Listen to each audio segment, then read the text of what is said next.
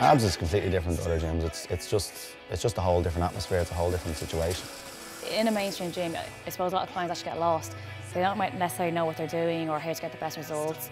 Well, the most important thing for us is seeing people change. Everything is individualised to the, to the person, from program, nutrition. You've got someone who, who wants you to, you know, he wants you to achieve your goals almost as much as you want to. I've been training all my life, so I've always been in somewhat decent condition. So I, I believe that the other trainers, they all have a background story of either gaining a lot of muscle or losing a lot of fat, completely just transforming their life. That motivates other clients because they see what's possible.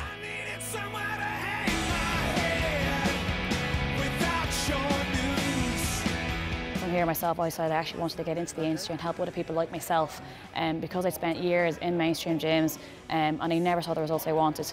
We started off as a fat loss client in the abs gym, looking to lose a lot of weight and went in and trained with Brian. Loved it so much, decided to want to qualify and become a personal trainer myself. I've lost over, over 100 pounds, which is a massive difference to where I was back then. I was a little bit smaller when I was a kid, I always hated it, and training gave me the kind of tools to get bigger, just be more confident.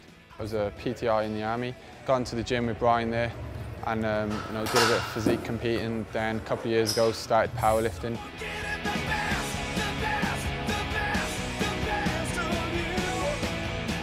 We ensure successful results because we cover all aspects of their fitness, their strength, their body fat levels, everything. So we assess everything, and then if something's wrong, we correct it.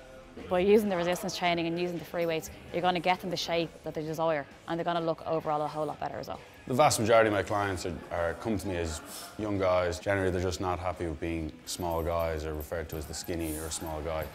So I just write up a program with them and teach them how to gain weight, how to gain a bit of muscle, and just do what I did essentially, get from the smaller statured man into the bigger man.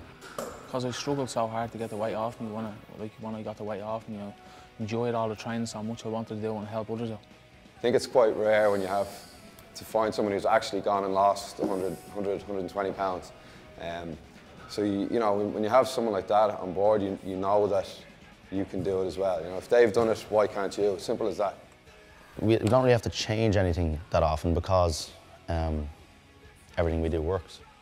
I am sure I couldn't have done it without the abs gym. Uh, 100% sure. Either way, the, the end result, you, you're generally going to look good and um, you know, look better naked. So that's the truth.